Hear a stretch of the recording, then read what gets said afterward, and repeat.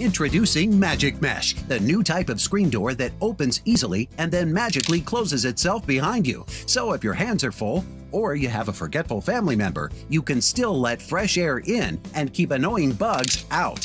The secret isn't really magic, it's magnets, 18 magnets to be exact. When you separate them, they automatically snap back together, so bugs have little chance to enter. Plus, it's so easy to install. No nails, no screws, no tools. It goes up in seconds and stays up all season long, no matter how often you, your kids, or your dog go through. Don't delay. Get your magic mesh today today.